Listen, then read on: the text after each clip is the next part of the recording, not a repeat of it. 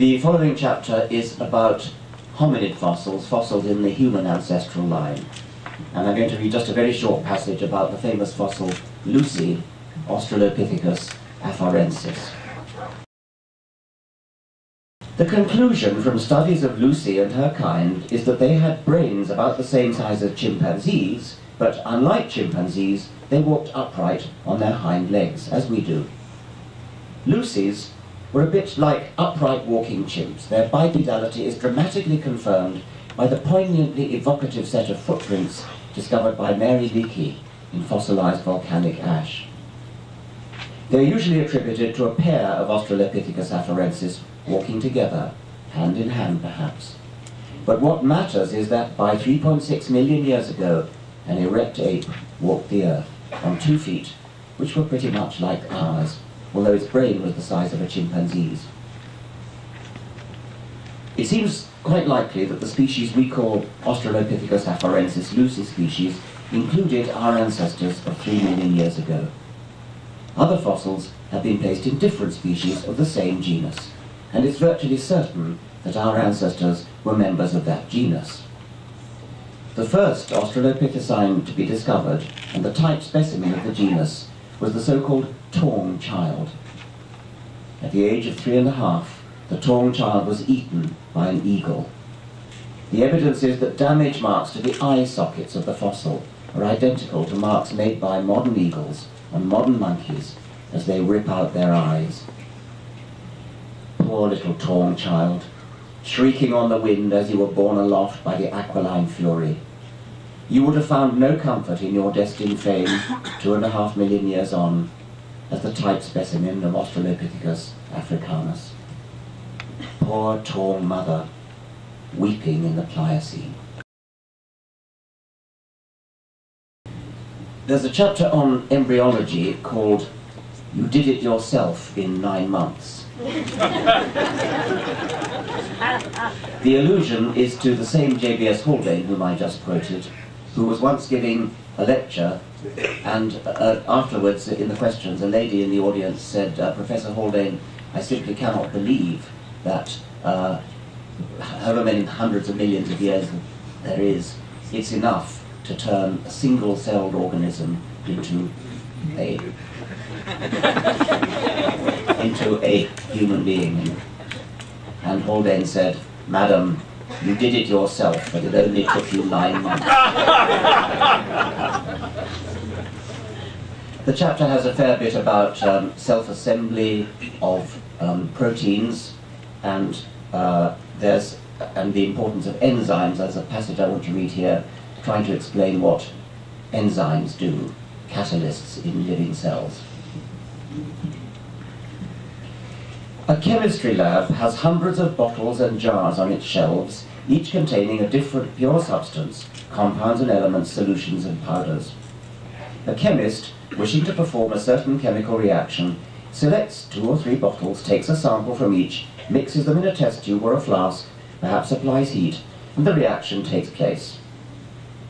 Other chemical reactions that could take place in the lab don't, because the glass walls of the bottles and jars prevent the ingredients meeting. If you want a different chemical reaction, you mix different ingredients in a different flask.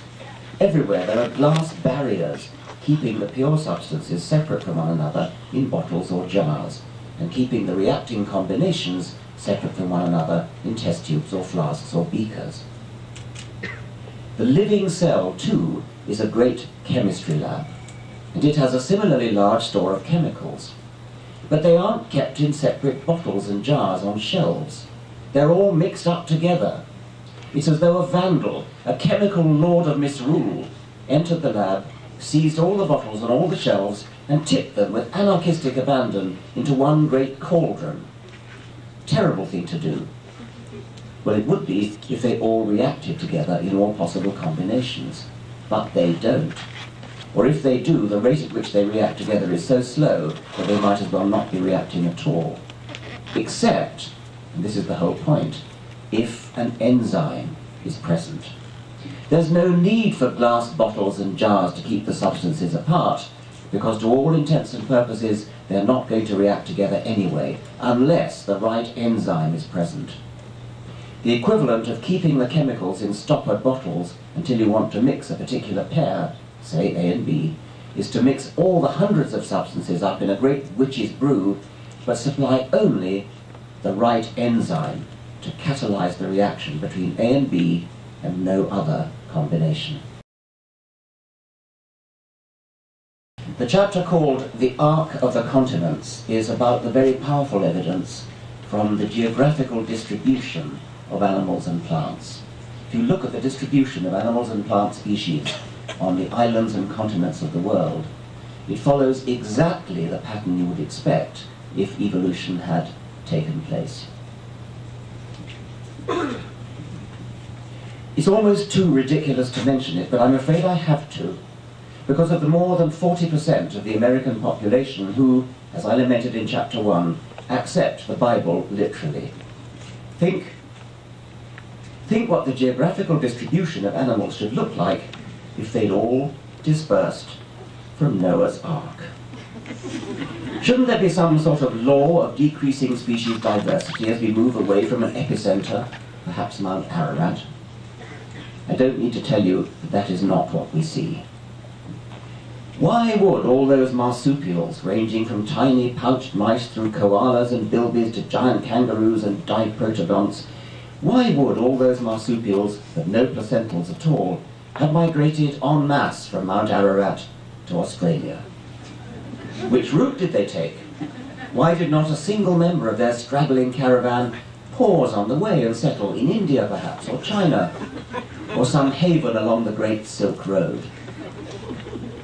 Why did the entire order Edentata, all 20 species of armadillo, including the extinct giant armadillo, all six species of sloth, including extinct giant sloths, and all four species of anteater, troop off unerringly for South America, leaving not a rack behind, leaving no hide nor hair nor armor plate of settlers somewhere along the way?